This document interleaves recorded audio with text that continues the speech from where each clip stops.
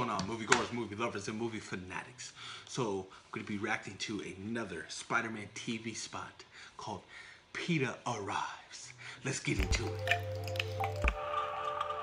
Oh, perfect timing. I need you to go downtown and get me snacks with Tim Duncan. Happy the game's starting. Yeah, faster than delivery with the whole psh, Tim thing. fucking Now remember, Duncan. it's Tim Duncan, so nothing fancy, just the fundamentals. Come on, let's go. I'm expecting change. Stupid happy.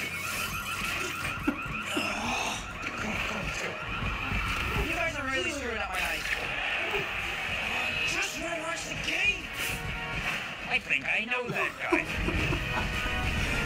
What? Little Stan Lee cameo. That's awesome. Tim Duncan needs some snacks. That was a good one. If you guys know who Tim Duncan is, he was probably one of the greatest power forwards of all time. He played for the San Antonio Spurs and he retired last year. And then you got that little fucking uh, that Stan Lee cameo at the end. That was awesome.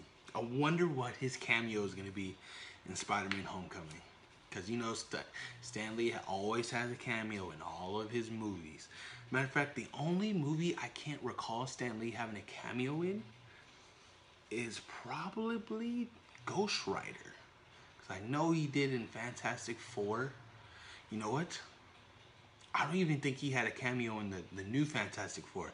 That uh, horrible hot garbage shit, if you've seen it. Don't see it. but yeah, man, he always has the best cameos, and he's probably filmed majority of his cameos. I mean, Thor Ragnarok, he probably filmed that cameo.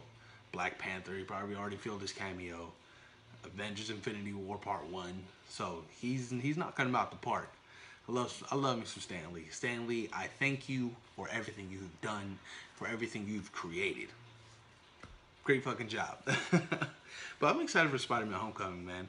I just got done seeing Wonder Wonder Woman, and now Spider-Man: Homecoming is the next summer blockbuster, and I cannot wait for it. All right, you guys, comment down below. Let me know what you thought about my reaction. Let me know what is your favorite Stan Lee cameo. Like, subscribe, it'd be greatly appreciated. Cut. At you guys. Peace.